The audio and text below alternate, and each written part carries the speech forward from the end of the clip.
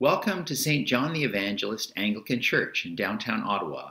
My name is Gary van der Meer, and as your parish priest, it is a joy for me to welcome you here. Welcome especially if you feel lost and you're wondering whether a church is a safe place for your doubts and challenges and questions. Welcome home if you've been away for a long time. And welcome to you for whom the St. John's community has been your beloved family over the course of many years. Welcome to all. Today we observe the first Sunday in the season of Lent. We are entering what will be the Easter cycle, which shows how God, having entered the complexity and challenge of being human, leads us through death to life. We began with ashes on our heads on Wednesday as a reminder to live a holy Lent, to spend 40 days with intentional focus in solidarity with Jesus and with each other I'm going to reflect on choosing a discipline that helps us to focus. But first, let us begin by acknowledging the land on which we stand. Dear friends, we acknowledge that our parish gathers on the traditional territory of the Algonquin Nation, and we recognize the continuing presence of First Nations, Metis, and Inuit in this region. May we dwell on this land with respect and peace. The grace of our Lord Jesus Christ and the love of God and the communion of the Holy Spirit be with you all. Please join us as we sing Breathe on Me, Breath of God.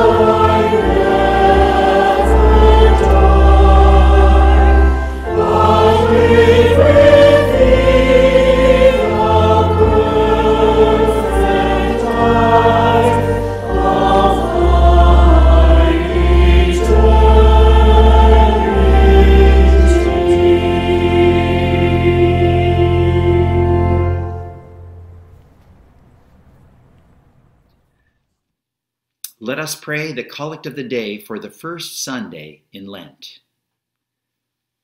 Almighty God, whose Son fasted forty days in the wilderness and was tempted as we are, but did not sin, give us grace to discipline ourselves in submission to your Spirit, that as you know our weakness, so we may know your power to save. Through Jesus Christ our Lord, who lives and reigns with you and the Holy Spirit, one God, now and forever. Amen. The Lord be with you. The Holy Gospel of our Lord Jesus Christ, according to Mark. Glory to you, Lord Jesus Christ. In those days, Jesus came from Nazareth of Galilee and was baptized by John in the Jordan. And just as he was coming up out of the water, he saw the heavens torn apart and the Spirit descending like a dove on him. And a voice came from heaven You are my Son, the Beloved. With you I am well pleased. And the Spirit immediately drove him out into the wilderness. He was in the wilderness forty days, tempted by Satan and he was with the wild beasts, and the angels waited on him. The Gospel of Christ. Praise to you, Lord Jesus Christ. May I speak to you in the name of God, the Father, the Son, and the Holy Spirit. Amen. This week, I helped to change the altar frontal in the church to purple, and it's a huge, gorgeous piece of work. I've also tried on one of your clergy stoles, also beautiful. But of course, you know, clergy have collections of these things, so I have some of my own as well. We ordered the palms this week, and I found myself wondering, well, why bother since the church is closed? And here's why. We hope we will be open. We look forward to that possibility for Holy Week. Uh, and also, our church is our sanctuary. It's the holy place where we pray, or that holy place that we take with us uh, when we're even when we're not here and we're praying. It's like we're together in here. It looks better in the video, and you'll see uh, scenes of the church in the video. And also, uh, for the flexibility that we can have even if we don't open. Just like uh, handing out the ashes, we can also hand out the palms and do a lot of creative things uh, during Lent. You've just heard the gospel reading for the first Sunday in Lent, and it's a rushed telling from the Gospel of Mark, in which Jesus is baptized and then immediately sent out in the wilderness to face his temptations. As the expression goes, to face his own demons. Baptism for Jesus is that great affirmation that God the Father supports his clarity about his life's purpose, his life's mission.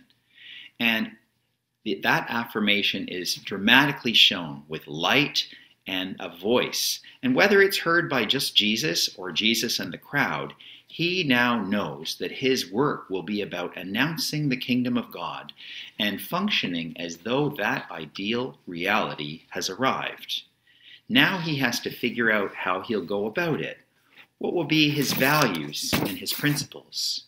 And let me say, as a person newly in a role, that I see that now in a different way. That there are temptations even when you have clarity about where you're headed. For Jesus, and for anyone who has clarity about a new task, what about the how, the how you're going to go about it part?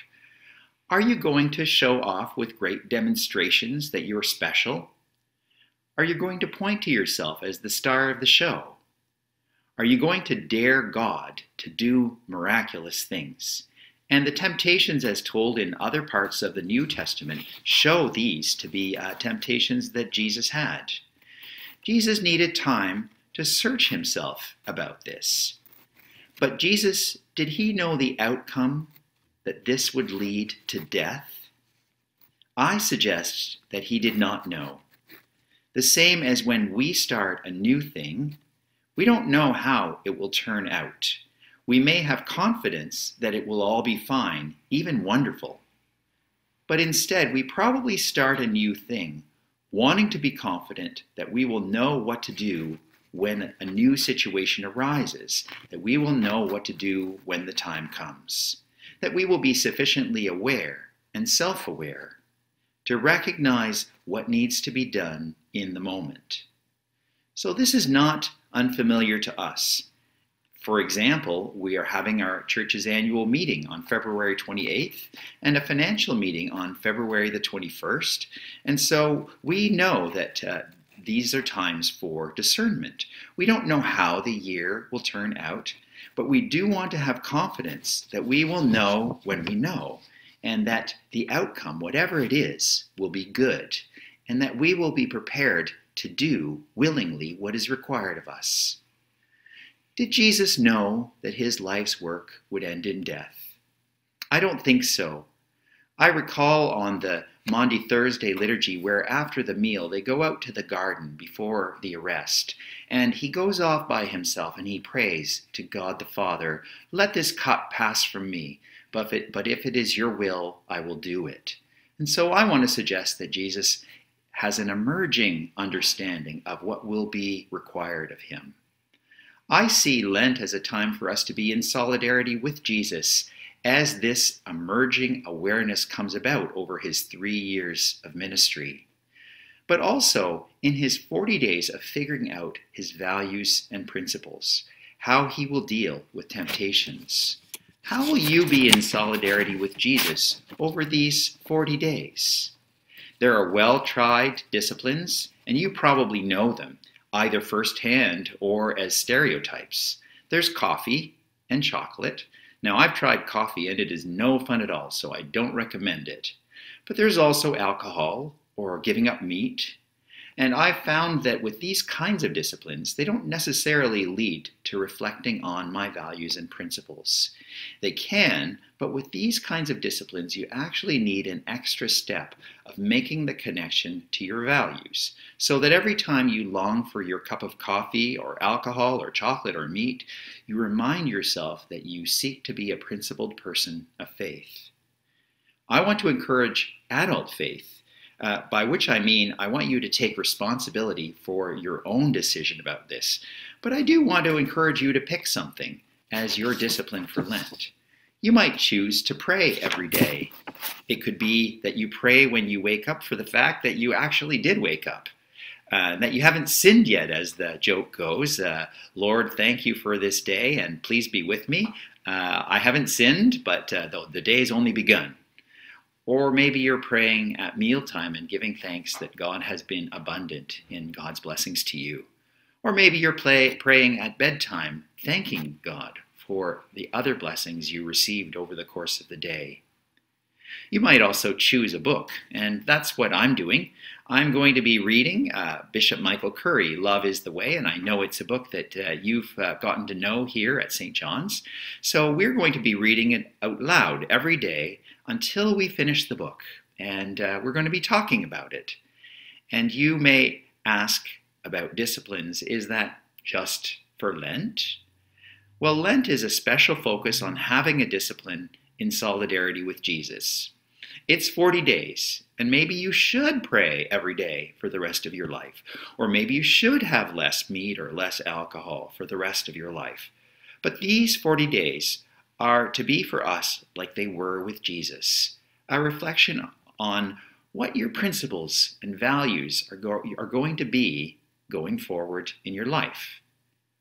And how will you engage with your emerging reality as it comes to you? Because we can't know what's ahead of us even a year from now.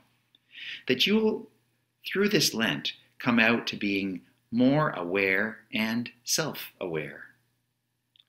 I would like to commend our worship as the St. John's community to you as one of your regular disciplines. Many of you do that already, and if you're considering checking out St. John's or you're visiting this video for a first time, I want to invite you to do this 40 day journey with us and to consider through a discipline what your own principles and values are going to be going forward in your life. This worship service will be a bit different for Lent. It will continue with the premiere on YouTube, but the liturgy will extend into the time on Zoom. One of the readings will be live on Zoom, and this one today is worth our attention. It's God's covenant with Noah in the form of a rainbow. And the idea is that even while we are being faithful to God over these 40 days by having a discipline, God is also being faithful to us in the form of covenant please join us for a shared reflection on God's part in our journey of having the discipline. It will be followed by a, a bit of a shared reflection, uh, and the prayers of the people. So I hope you will click on the link in the YouTube chat after this video concludes as we continue with the live portion of our Sunday worship at St. John the Evangelist Anglican Church in Ottawa. Let us pray. Spirit of the desert, you drove Jesus to the edge of the world to seek your truth and find his calling. Scour our hearts and awaken our hunger so that freed from empty clinging, we may serve only you and the Creator, through Jesus Christ, the Lord of the wilds. Amen.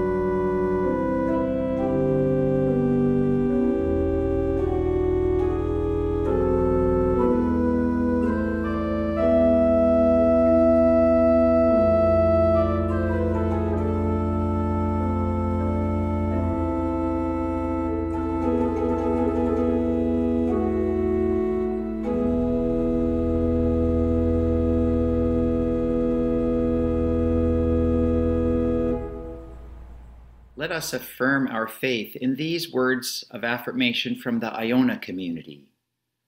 We believe in God, in whom is power and compassion. We believe in the Creator who gave birth to the universe, set solar systems dancing into space, shaped molecules and mountains, and conceived beauty beyond our imagining. God's power topples tyrants and brings down walls of separation God's love embodies the tenderness of a mother and father, encouraging and caring for each of us. We believe in Jesus, born in obscurity in an occupied land, a human being vulnerable to hunger, thirst, persecution, and grief. He understood the power of love and confronted the powers of evil, spoke the truth with courage and clarity, forgave his enemies, and changed lives. We believe in the Holy Spirit, who sustains, comforts, and empowers us, opens the scriptures, opens our minds, and illumines earth's darkness. Amen. Please join me in praying the Lord's Prayer in the language of your preference.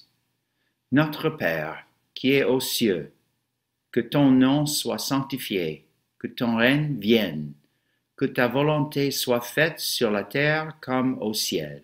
Donne-nous aujourd'hui notre pain de ce jour. Pardonne-nous nos offenses, comme nous pardonnons aussi à ceux qui nous ont offensés. Et ne nous laisse pas entrer en tentation, mais délivre-nous du mal. Car c'est à toi qui appartiennent la reine, la puissance et la gloire. Amen.